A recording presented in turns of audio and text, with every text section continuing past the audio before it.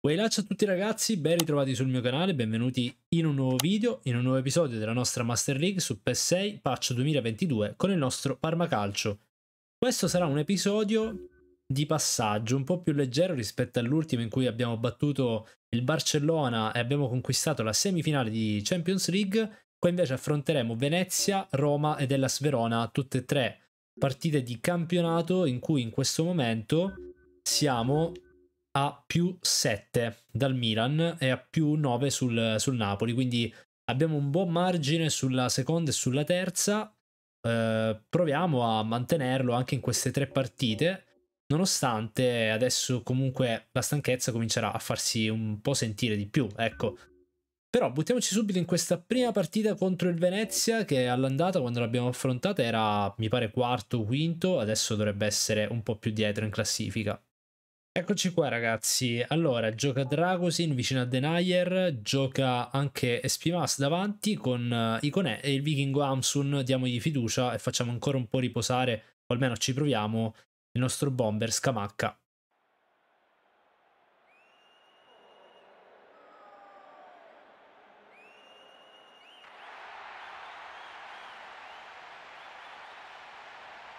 Venezia-Parma, 22esima giornata di Serie A. Vediamo un po' dove è finito il Venezia in classifica, sono curioso, è scalato in ottava posizione, ma comunque sta facendo un gran campionato, mentre invece noi dobbiamo cercare di mantenere il vantaggio sul Milan. Il Venezia addirittura è sopra la Juventus, sopra l'Atalanta, quindi sta facendo un grandissimo campionato. Inquadrato il capitano Ampadu, per il Parma invece il capitano sarà Imelez, autore di una grande stagione, forse della migliore stagione da quando è al Parma. È tutto pronto, partita che può comunque nascondere tante insidie, si parte. Iconè batte, c'è Amsun che anticipa tutti ma non riesce a spedire verso la porta coperta da Mempa che ha spazio per andare, c'è il movimento di Nani sulla destra, chiede l'1-2 Fiordilino, palla dentro, Dragusin Grande chiusura, chiude tutto. Poi si appoggia a Ricci che prova a ripartire. C'è ancora Fiordilino. Scambia con Quisanz. Attenzione ad Aramu. Mattia Aramu davanti alla porta. Che parata! Che parata di qua Musso. Il miracolo. Ed è per questo motivo che abbiamo comprato Musso. Questa è una parata strepitosa. Si distende benissimo sulla sua sinistra. Ma adesso c'è calcio d'angolo per il Venezia che sta giocando molto bene in questo avvio di partita. Bisogno di un appoggio. C'è Imelez Imelez, palla dentro, illuminante per Iconè, Iconè alto.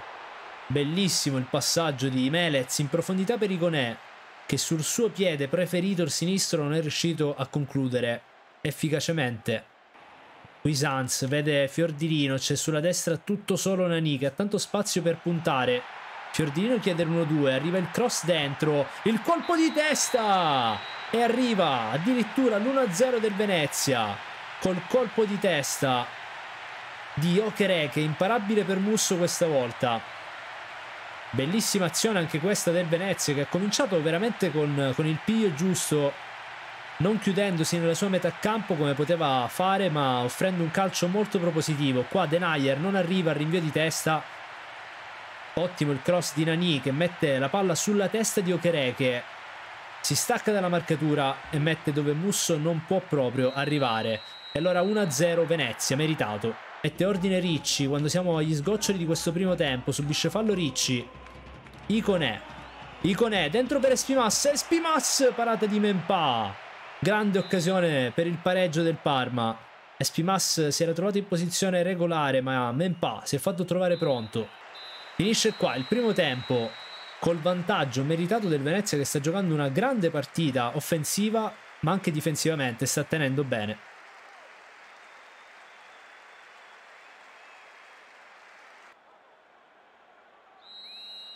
1-0 Venezia, si riparte da questo risultato col Parma che deve provare quantomeno a trovare il pareggio. Attenzione ad Aramu, palla dentro, pericolosa, Sigurdsson alle stelle. Arrivano i cambi, entra Scamacca per provare a cambiarla ed entra anche Macco a centrocampo al posto di Melez. Chiuso, non c'è spazio per il cross, ora Molina dentro per Ricci, il colpo di testa, para Mempa. Vediamo se Molina riesce a mettere Una buona palla dentro per Scamacca, anticipato con un grande intervento difensivo del Venezia. Il Venezia sta tenendo questo vantaggio incredibile. Attenzione perché adesso c'è Scamacca che prova ad andare fino in fondo. Grande chiusura difensiva. Ancora Scamacca. Scamacca! Non ce n'è per nessuno con Gianluca Scamacca. Vince il rimpallo e poi va fino in fondo. Stavolta Mempa non riesce ad evitare il gol del pareggio dei giallo-blu. Era stata buona la chiusura difensiva del Venezia con Ebuei credo fosse, però poi Scamacca recupera palla con violenza, con, con forza e va a tirare una sberla incrociata, Mempa, preso anche un po' in controtempo, non può nulla. E allora 1-1 arriva il pareggio tanto sperato del Parma quando siamo all'ottantesimo minuto. Mazzuri prova a mettere fuori, non riesce ad arrivare. Attenzione a Okereke, Okereke al limite dell'area, palla dentro, lunga, colpo di testa, palo!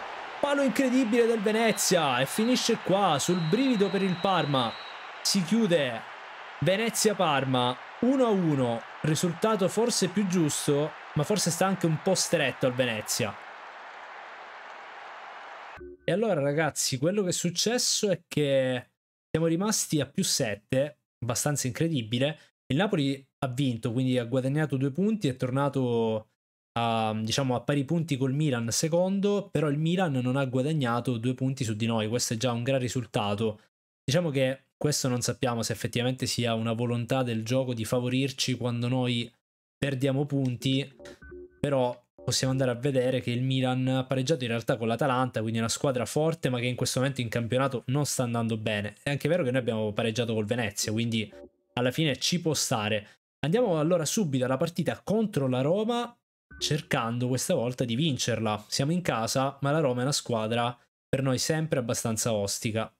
Ragazzi, come volevasi dimostrare, la stanchezza adesso comincia a diventare un po' un fattore, infatti Scamacca è stanco, Denayer è stanco, Koulibaly, Melez sono tutti stanchi, anche i Conè, quindi qua dobbiamo fare qualche cambio e questi sono cambi obbligati, gioca Amsun, gioca Spimas, gioca Yuga, Mark Landers, anche Dodo a centrocampo e confermato Dragusin per la difesa, stavolta per dare il, campo, il cambio a Denayer. Insomma, i giocatori cominciano ad essere stanchi, abbiamo bisogno adesso di, delle seconde linee e che facciano al meglio il loro ruolo in questa stagione.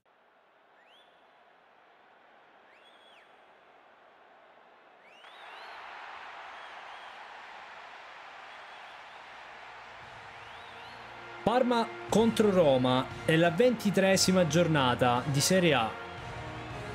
Vediamo la Roma anche come si sta comportando in questa, in questa stagione. Ci sono tanti punti di differenza, quasi 20 punti di differenza. La Roma però è quarta, quindi pensate un po', siamo in fuga perché tra noi e la Roma ci sono solo tre posizioni, ma in realtà i punti sono tantissimi di distacco. I giocatori salutano il loro pubblico che è pronto a supportarli in un momento in cui in campionato stiamo perdendo effettivamente qualche punto di troppo, ma per fortuna finora non abbiamo pagato dazio, visto che le nostre dirette concorrenti stanno anch'esse perdendo punti. In un momento della stagione in cui si giocano tante partite importanti nelle coppe e quindi c'è un po' di stanchezza. Al via la partita, Riesce a recuperare palla. Attenzione a Espimas. Ricci vede dentro Bourchet. Palla illuminante Bourchet. Dove l'ha buttata Flebbo? Che pallonetto è Flebbo?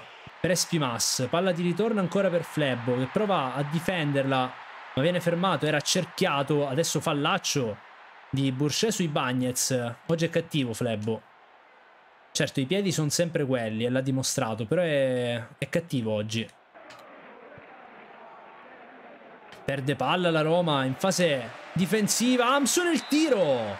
Esce di pochissimo il tiro dai 25 metri del vichingo Amsun. Guardate di quanto sfiora il palo. Attenzione perché Bagnez è rimasto infortunato forse proprio nello scontro con Flebo Bourchet che non è stato sanzionato dall'arbitro nemmeno con un giallo ma era molto brutto il, il fallo. Bravo Flebo, così cattivo. Samuele Ricci Ottima giocata di Bourchet che prova ad allargare per Mazzurai. Mazzurai in uno contro uno. Se ne va a Smalling Mazzurai. Grande azione per lui, il tiro finisce fuori di pochissimo, ma il Parma adesso sta spingendo da posizione quasi impossibile. Mazzurri ha quasi trovato il gol dell'1-0 quando siamo al 27 minuto. Spinazzola, Veretù palla dentro, Botman chiude col brivido, rimpallo. Era una palla stupenda quella dentro della Roma.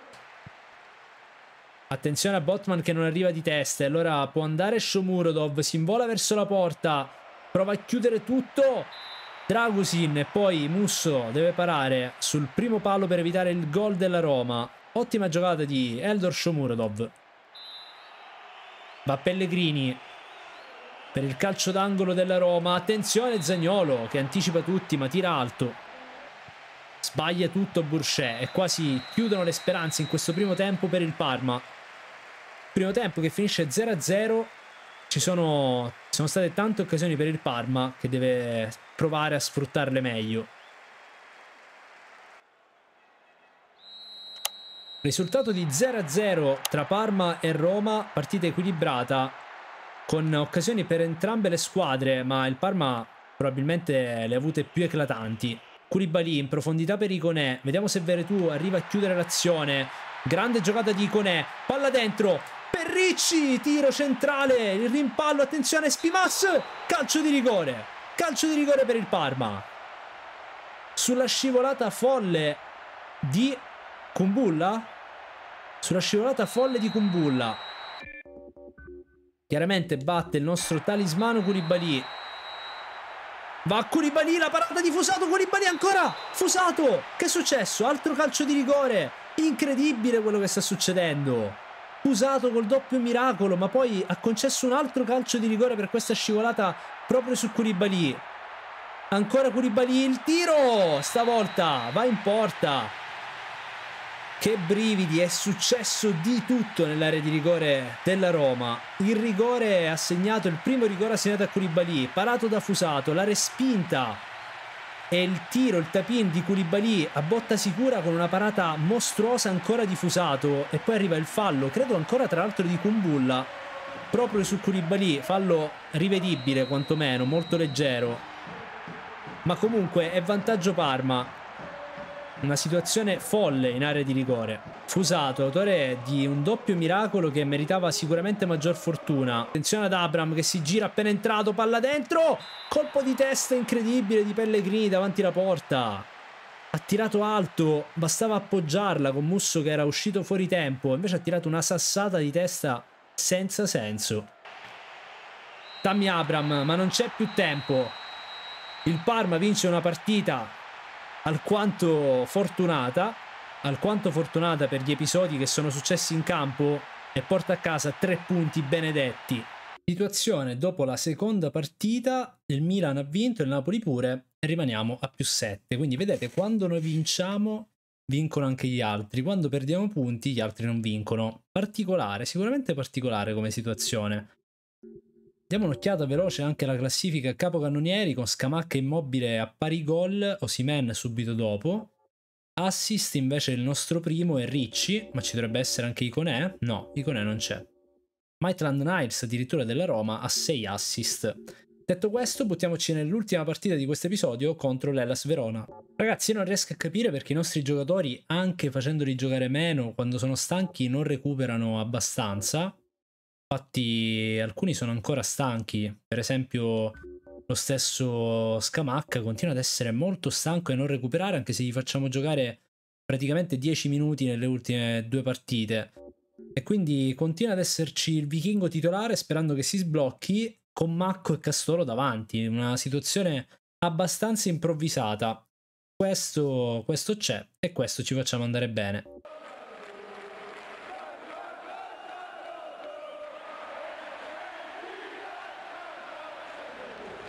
È tutto pronto per la 24esima di Serie A Team tra Hellas Verona e Parma Calcio.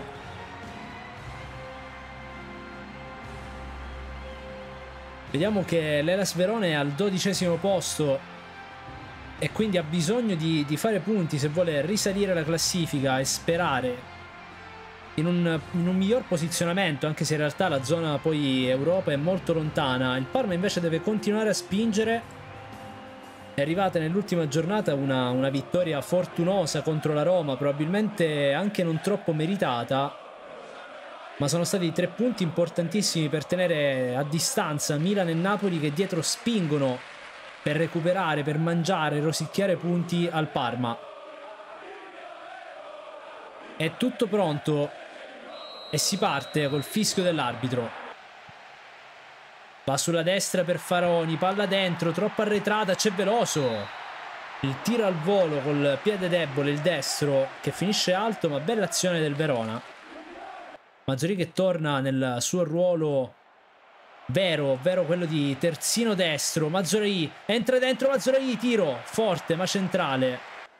Prova a correre Faraoni ma sulla, sulla sua strada Ruskin. Allora da in profondità per Barak, palla dentro, Dodo bucato qua Musso sul colpo di testa di Simeone. Dodo era sulla palla ma è andato totalmente a vuoto. E allora mannaggia Dodo diciamolo forte tutti insieme perché era un intervento difensivo facile facile senza pressing. E non si sa come è riuscito totalmente a bucare l'intervento Bella comunque l'azione del, del, Verona col cross di Barak, preciso per la testa di Simeone che poi giustamente non ha, non ha perdonato Musso, però peccato perché Dodo era ben posizionato e invece non si sa cosa abbia colpito, ma non la palla. E allora 1-0 Verona, continuano le difficoltà di questo periodo per il Parma in campionato. Ricci recupera, doppio rimpallo, fischia l'arbitro alla fine di questo primo tempo molto equilibrato in cui a fare la differenza è il gol di Simeone sul buco difensivo di Dodo.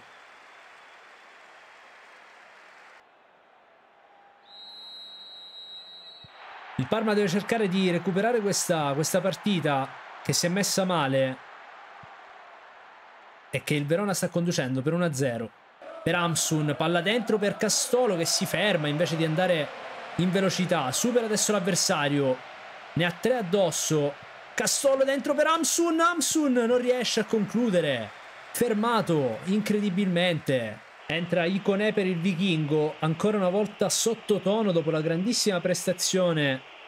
A Barcellona sono arrivate tre prestazioni non al suo solito livello. Macco in avanti per Castolo che è andato a fare la prima punta. Ancora palla per Macco. Macco il tiro sul primo palo. Arriva la parata sulla grande occasione per Macco qua, per Iconè che prova ad andare, salta Gunther, arriva Tamesi il raddoppio, Iconè, grande palla dentro Macco, Macco, il gol di Macco, il pareggio di Macco! Su una mezza papera difensiva del Verona e anche del portiere che non trattiene il colpo di testa debole di Macco su una grande azione per Iconè però di Iconè che ha spaccato la partita in due da quando è entrato con le sue accelerazioni.